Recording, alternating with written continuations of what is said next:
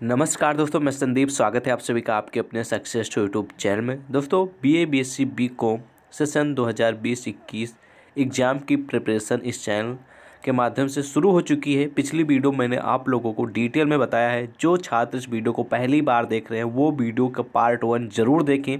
उसमें मैंने बताया कि किन छात्रों की प्रिपरेशन इस चैनल पर कराई जाएगी और कैसे क्वेश्चन आते हैं, क्या है और इस बार ऑनलाइन एग्ज़ाम होंगे या ऑफलाइन होंगे, क्या कुछ है सारी जानकारी मैंने पिछले वीडियो में बताई है इसलिए इस वीडियो को देखने के बाद उस वीडियो को ज़रूर देखिएगा। तो आज की इस वीडियो में हम बात करने वाले हैं बीए मॉडल पेपर 2020-21 तो ये जो वीडियो है वो बीए के first year second year third year तीनों ईयर के छात्रों के लिए इंपॉर्टेंट है। इससे पहले जो वीडियो थी उसमें मैंने हिंदी के जो इम्पोर्टेंट क्वेश्चन थे बेसिक वो मैंने बताए थे। आज के इस वीडियो मैंने इंक्लूड किए हैं हिस्ट्री के। यानी कि इतिहास के जो क्वेश्चन और आंसर हैं, वो मैंने इसमें इंक्लूड किए हैं, जो एग्ज़ाम के लिए पूरी तरह आप सभी के हेल्पफुल हैं। तो इस वीडियो में एक एक क्वेश्चन हम बताएँगे और उसका आंसर भी बताएँगे, जो एग्ज़ाम के लिए आपके लिए हेल्पफुल होने वाले हैं। तो वीडियो में पूरी तरह बने रहिएगा और मैं आपको ये भी बता दूँ B A B S C B com तीनों तीनों कोर्सेज के छात्रों की यहाँ पर तैयारी कराएँगे, लेकिन धीरे धीरे एक एक करके सभी कोर्स की होगी, क्योंकि इस समय बी ए की जो मैं मटेरियल मैंने तैयार किए हैं पहले वो मैं आप तक प्रोवाइड कर दूँगा उसके बाद B S C B com यानी कि मॉर्निंग और इवनिंग में दोनों की क्लासेस चलेंगी। ध्यान दीजिएगा जो क्लासेस का आ, समय है वो मॉर्निंग में है और इवनिंग दोनों में है। ठीक है? नौ से दस के करीब वीडियोज़ आ जाएगी और शाम को भी इसी तरह सात से आठ के बीच वीडियो अपलोड कर दी जाएगी यूट्यूब पर। तो आप लोग ज़रूर उस क्लासेस को अटेंड करिए जिससे आप लोगों को एग्ज़ाम में जो भी क्वेश्चन किस प्रकार के आने वाले हैं, उन सभी के बारे में आइडिया लग सके। तो चलिए वीडियो में अब आगे बढ़ते हैं, कौन से क्वेश्चन हैं, किस प्रकार के पूछे गए देखते हैं। तो दोस्तों, आज की जो सीरीज़ है, उसमें जो क्वेश्चन है, वो हिस्ट्री यानी इतिहास के हैं। तो आज की जो सीरीज़ है, वो टू नंबर है, कल पहली थी, आज दूसरी है। ठीक है, कल हिंदी का था, आज इतिहास के क्वेश्चन मैं आप लोगों को इस वीडियो में बताने वाला हूँ। तो बहुत सारे जो क्वेश्चन इस वीडियो में बताने वाला हूँ, सारे क्वेश्चन इंपॉर्टेंट है। तो ध्यान से समझिएगा, आप सभी के एग्ज़ाम के लिए पूरी तरह हेल्पफुल है। जो मैंने पिछले कई सालों से एक्सपीरियंस किया है वो मैं आप लोगों को क्वेश्चन बताने वाला हूँ, ठीक है? और मैं आपको ये भी बता दूँ कि वीडियो को पूरा ध्यान से समझिएगा, चाहे आप जिस भी यूनिवर्सिटी के छात्र हों या फिर आप जिस भी कोर्स के छात्र हों, वीडियो के लास्ट में कुछ मैं आप लोगों को और भी जानकारी देने वाला हूँ। पहला क्वेश्चन पढ़ते हैं, लिखा है, तुगलक नामा का रचयिता कौन था? ऑप्शन आपको मिल जाएँगे, आमिर खुसरो, अफीफ़, सी नंबर जियाउद्दीन बर्नी और डी नंबर है फरिश्ता।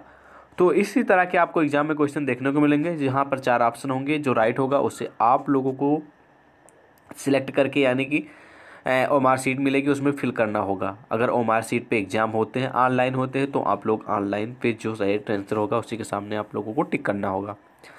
इस क्वेश्चन का राइट आंसर हो जाएगा ए नंबर अमीर खुसरो, तुगलकनामा का रचयिता अमीर खुसरो। था ठीक है। अगला क्वेश्चन है कि भारत में आक्रमण करने वाला प्रथम तुर्क आक्रमणकारी कौन था? ऑप्शन एक है महमूद गजनबी बी नंबर मोहम्मद बिन कासिम, और सी नंबर है अल्पतगीन, और डी नंबर है सुतुक्तगीन। मैं आपको बता दूँ दोस्तों, अगर कोई वर्ड टाइप करने में मिस्टेक हो गया होगा गलती से तो वो आप उसे इग्नोर कर दीजिएगा। मैं फ़िलहाल उससे बता दूँगा क्योंकि टाइप करने में एक दो वर्ड इधर उधर हो सकते हैं मे भी ठीक है? तो जो भारत में आक्रमण करने वाला प्रथम तुर्क आक्रमणकारी था, वो था सुतुक्त गीन। ध्यान दीजिएगा इंपॉर्टेंट क्वेश्चन है ओके अगले क्वेश्चन की ओर बढ़ते हैं।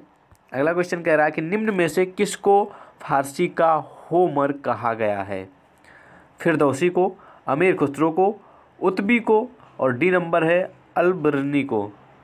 अलबरनी को तो इसमें जो राइट आंसर होगा, जिन स्टूडेंट को मालूम होगा राइट आंसर वो बेशक बता सकते हैं कमेंट में, ठीक है? तो इस क्वेश्चन का राइट आंसर हो जाएगा। बी नंबर अमीर खुसरो, ठीक है?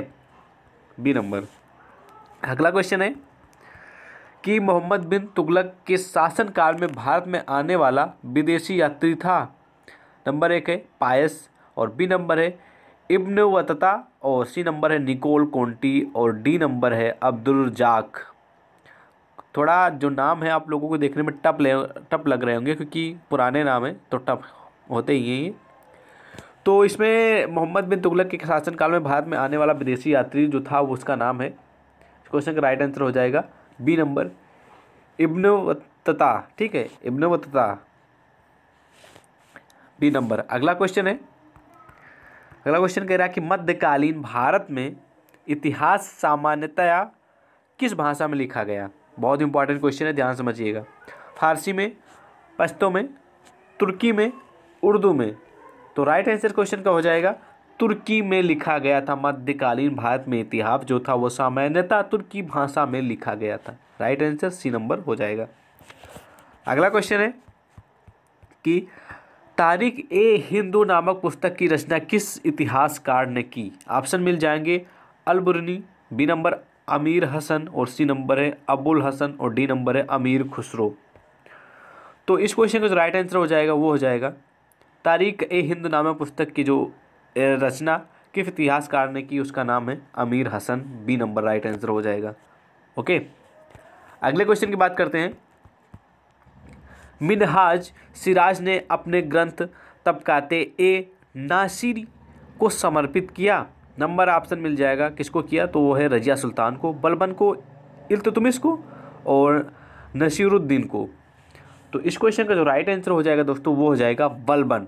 ध्यान दीजिएगा, बलबन को सौंपा था, ठीक है? समर्पित किया था। अगले क्वेश्चन की ओर बढ़ते हैं। अगला क्वेश्चन ये कह रहा कि अमीर खुसरो के अनुसार शतरंज का खेल आविष्कृत किया गया था। नंबर एक है भारत में, अरब में, तुर्की में, फ्रांस में। तो जो इस क्वेश्चन का राइट आंसर हो जाएगा, यानी कि अमीर खुसरो के अनुसार शतरंज का खेल अस्वीकृत किया गया था, वो भारत में किया गया था। इसलिए राइट आंसर क्वेश्चन का हो जाएगा ए नंबर सभी क्वेश्चन जो टॉप लेवल के हैं। जब नेक्स्ट सीरीज़ स्टार्ट होगी, जब बहुत सारे छात्र जुड़ जाएँगे तो उसमें मैं पूरी एक डिटेल से, यानी कि एक सीक्वेंस वाइज मैं सीरीज़ बनाऊँगा, क्योंकि अभी बहुत सारे, अभी जल्द ये सीरीज़ स्टार्ट हो रही हैं, यानी कि जो क्लासेज हैं तो इसमें बहुत सारे छात्र अभी अटेंड नहीं हो पा रहे हैं, क्योंकि अभी किसी को मालूम नहीं तो धीरे धीरे सभी अटेंड हो जा अटेंडेंस यानी कि अटेंड होने लगेंगे, आने लगेंगे, देखने लगेंगे तो उसमें क्या होगा ना, बहुत सारे छात्र रहेंगे तो उसमें बहुत सारे क्वेश्चन मैं बताऊँगा। अभी तो मैं थोड़े थोड़े करके क्वेश्चन बता रहा हूँ, क्योंकि बाद में लॉस ना हो, ये किसी छात्र ये ना कह पाए कि, सर, आपने पहले ही बहुत सारे क्वेश्चन बता दिए। तो इसीलिए मैं थोड़े थोड़े क्वेश्चन आप लोग को बताऊँगा, जिससे आप लोगों को आसानी से समझ में आ जाए। क्वेश्चन अगला है कि निम्न निम्न सुल्तानों में से किसका संबंध जैन विद्वानों से घनिष्ठ था? तो ऑप्शन एक मिल जाएगा, अलाउद्दीन खिलजी, मोहम्मद बिन तुगलक, बलबन कुतुबुद्दीन। राइट आंसर इस क्वेश्चन का हो जाएगा मोहम्मद बिन तुगलक। ओके अगला क्वेश्चन की ओर बढ़ते हैं। अगला क्वेश्चन कर रहा है कि निम्नलिखित में से किस ग्रंथ में आदर्श मुसलमान शासक के गुणों का उल्लेख किया गया है। नंबर एक है फतवा ए जहा, जरा। बी नंबर है ताजुल मासिर। सी नंबर है खजा, झल, फतूह। और डी नंबर है तबकात नासिरी। इस क्वेश्चन का जो राइट आंसर हो जाएगा, वो हो जाएगा, ए नंबर हो जाएगा, फतवा ए जहाँ, जारा। ठीक है, ध्यान दीजिए क्योंकि क्वेश्चन की जो आंसर वो थोड़ी टफ हैं तो आप लोग को माइंड में आप लोग इसे सेट कर लीजिएगा। ठीक है अदरवाइज़ आप नोट डाउन कर सकते हैं। अगला क्वेश्चन की ओर बढ़ते हैं। अगला क्वेश्चन कह रहा है कि निम्नलिखित में से कौन दिल्ली सल्तनत की छः मुस सल्तनत के छः सुल्तानों तथा निज़ामुद्दीन अलिया से जुड़ा था? नंबर एक है Isami B number Shaikh Razaqullah, C number Amir Khusro और डी नंबर है बर्नी।